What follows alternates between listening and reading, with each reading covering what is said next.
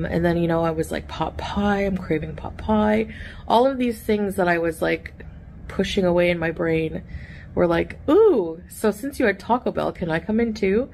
So, yeah, you know, in theory, having a small piece of pot pie with some salad or vegetables wouldn't be that bad, but again, that's, I think one food I just can't control myself over. I have this, I see this huge tray, um, and I'm like, I know that I, you know, I could technically, I'm an adult, I'm, I, you know, I could do what I want.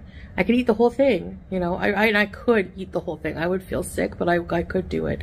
I have done it before. So, um, no, it's just not something I can really control myself with. So I'm not going to make that for a long while, maybe ever. I'm not going to make that for a long while, maybe ever. Three weeks later. I wanted to show you a clip of also I made another pot pie and I, I filmed it. I wanted to film like a little bit of the cooking process to show you how I do it.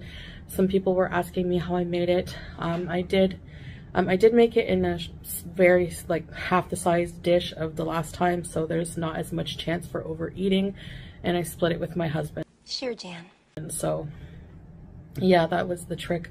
Made it in a smaller pot, in a smaller dish, like this kind of dish, so that, you know, again, prevent overeating of it. Even Foodie, aka Miriam, knows she's not telling the truth.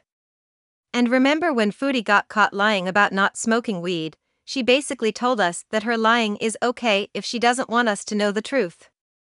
And that makes her a lying liar who lies. I say no, it's because I don't want you to know the truth. Like, if I don't have to tell you if I'm smoking or what I'm doing if I don't want to, you know? So if you want to be butthurt over that lie of me saying no, that I'm not smoking because I don't want anyone to know, um, then be mad. I just never fall.